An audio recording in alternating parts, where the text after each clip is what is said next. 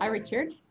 Hi, Liz. How are you? Thank you. You're CEO of Goldman Sachs International, and you spend a lot of time engaging with our global clients and key stakeholders. What are the issues that are on the minds of these leaders right now, and how are companies in Europe thinking about corporate planning and decision making? Well, I, I think the European business leaders, you know, much the same as the US and around the world, their thinking has clearly evolved. Yeah, if you go back to the beginning, which you know seems an eternity ago, of course it was only you know, six or so weeks ago, know, there was an immediate and intense focus on, you know, the downside case, you know, what could really happen to their business. You know, many st- trying to stand their businesses up operationally. You know, we obviously moved to our, you know, 98% working from home, 2% in the office. Yeah, but think about a big pharmaceutical company. I spoke to the CEO of one of these companies, 70 different production sites around the world producing all sorts of drugs, cancer treatments, you know, all the treatments, they had to be up and operational. So huge operational focus. Yeah, and then in, of course an intense focus on liquidity. You know, the, I mean the golden rule if you're running a business is don't run out of money, and and so focused on you know really increasing their liquidity buffers, and know so that was that period of time. But I think most people now know where they are and you know what their companies can do in the in the current environment, and so you know really thinking, shifting towards you know, going forward here, what's the demand side going to be like? Because so you know what you can produce. The question is, you know, how much of that are people going to are, are people going to want? You know, we saw it vividly displayed with the oil price action of a week or so ago. You know, when you've got you know 20 million barrels a day more than people need, you know, there's dramatic price action, and that obviously has a you know real feedback into the economy and you know what existing producers can do.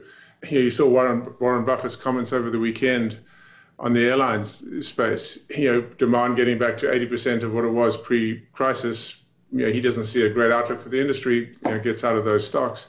But every industry is going through this question right now. You know, what is the demand picture going to look like? And you know, for many, unfortunately, there's going to be less demand than there was pre-crisis. But you know, for others, some of the tech companies, you know, potentially more demand. So it's not yeah, there's going to be dispersion. There's going to be there's going to be winners and losers. So a big focus on the demand picture, and of course, I, I guess one final point. Yeah, the fundamental question: How long is this going to go on for? Because it's going to impact the answer to all of those questions. Yeah. So what's the duration? Well, one of the challenges for clients is the mismatch between significantly negative macro data and relatively positive risk asset performance. How are you thinking about the broader macro recovery and the outlook for markets? Yeah, I think the important point there is, you know, the macro data is really backward looking and the markets are forward looking. So the fact that there's, you know, some mismatch doesn't totally surprise me.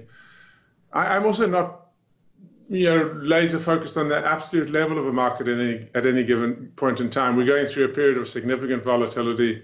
You know, market prices are moving uh, around, you know, really quite a lot. And so the absolute level at a point in time less important you know, what's critical is that these markets are open, they're functioning well, that they're liquid. And so if you're a corporate and you need to access capital wherever in the in the capital structure, you can do so, whether it's equity or, or senior debt and anything in between. And I think that is broadly the case right now. If you're an investor and you want to adjust your risk, risk position, you've got the liquidity to do so, either increasing your risk, which a lot of people have obviously done, or, or, or reducing risk. And yeah, and so it's really the functioning of the markets, you know, that's that's really important, and I think you know, largely due to some terrific um, actions taken by the central banks around the world, you know, markets are broadly functioning in, in, in a good way. Well, these times that we're living through seem unprecedented, but you've worked at Goldman Sachs for more than 30 years. This is not the first economic crisis that you've worked through. How does the current environment compare to previous periods? It's a, it's a very good question. I, you know, I think the biggest difference this time is this is the first crisis I've been through where we truly are all in this together. And, you know, it's pretty much every citizen on the planet, every economy, every industry, every business, you know, every household. I mean, everybody is, you know, right at the epicenter of this crisis. If I think back, you know, I was actually in, uh, in Hong Kong and Asia during the time of SARS in 2003 many, you know, some similarities to this, but it was very regional and very localized. You know, the 2008 financial crisis, you know, the epicenter was really the banks. Um, the dot-com crash, you know, 99, 2000, obviously tech and the equity markets. And so you can look back at those.